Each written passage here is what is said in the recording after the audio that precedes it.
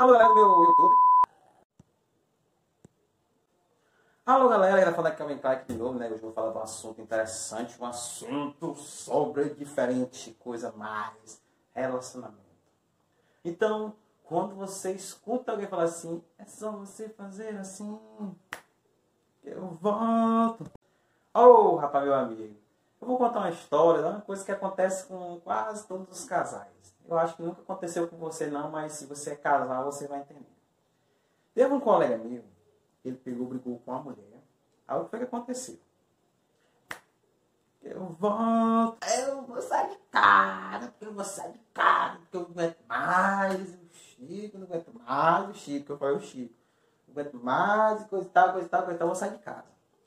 Aí, se ele fosse uma pessoa esperta, ele ia falar só com o pessoal da família dele. Mas o que, que aconteceu? Eu sei que vocês vão se perguntando aí o que, que aconteceu.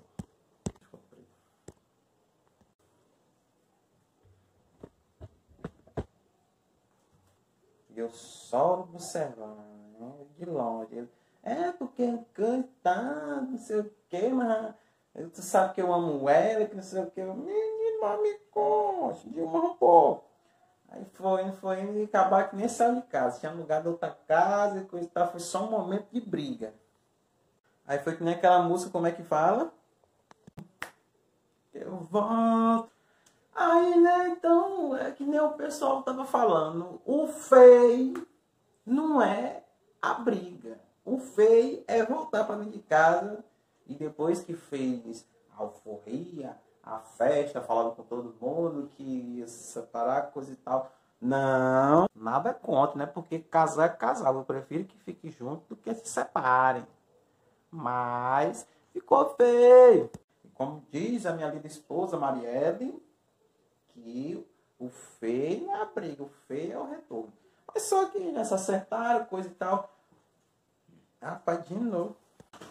Mas o bom que voltaram, estão lá lindos, maravilhosos, mas só que na hora que a gente vem e fala assim, ó, o homem ioiô.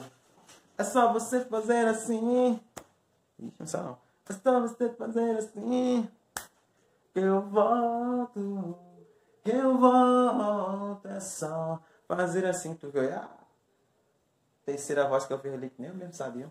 Então, se você gostou do canal, se você está curtindo, se você quer ver mais vídeos, dê aquele like gostoso. Deixa eu ajeitar bem aqui.